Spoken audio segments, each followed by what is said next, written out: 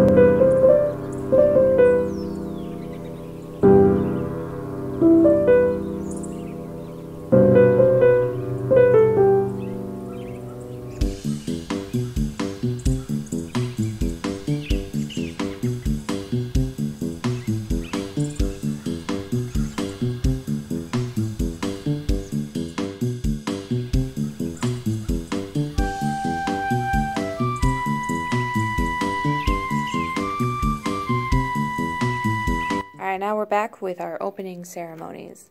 And here we have Bradbury carrying the torch. This is a special honor for the Origami Frog Olympics.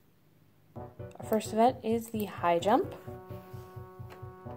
And first up we have Bradbury. Next is Collins. The very good jump.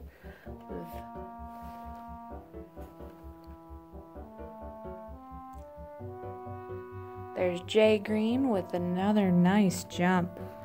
Looks like a seven. And Twain. Not the best jump at 6.5, but points for style. Next we have the long jump. We hear our frogs jumping from the start line.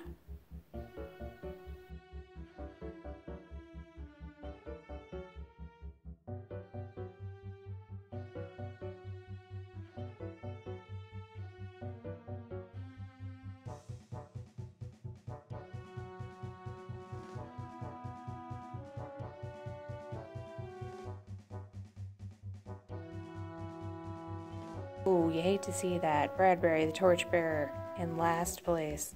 And who's the winner? We have Twain in the lead. Twain will go for the, go home with the gold for the long jump. Next, we have the one meter race, or as close to a meter as you can get race. We have Jay Green starting us off with a very good, good round. Konami.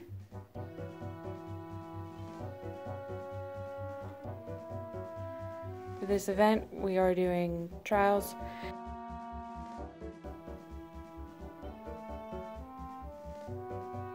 And there's Collins sliding in,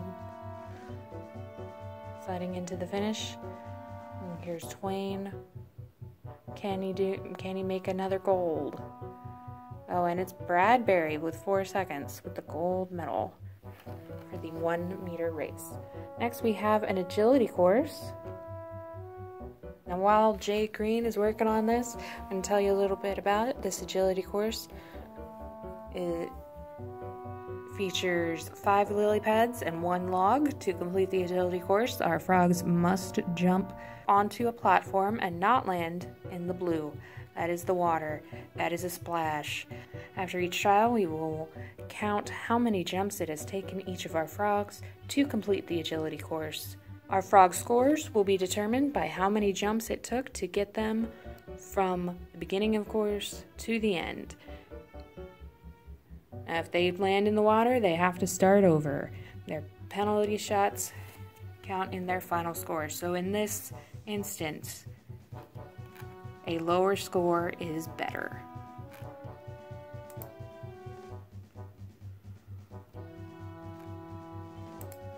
Quickly running through the other contenders for the agility course.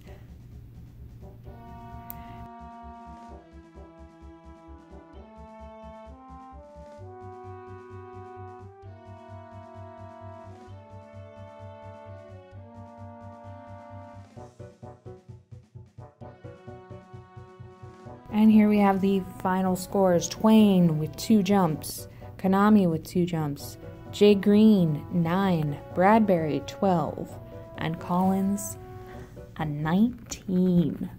Now, if you're watching this at home, you can play along by making your own events, train up your origami frogs, and go for the gold. See what you guys can come up with, submit your ideas, and let us know if you had fun today. Our gold medal MVP was Twain with two gold medals. Congratulations, Twain. And this has been the Origami Jumping Frog Olympics. Thanks for watching. We'll see you next week with a new video. Have a great day.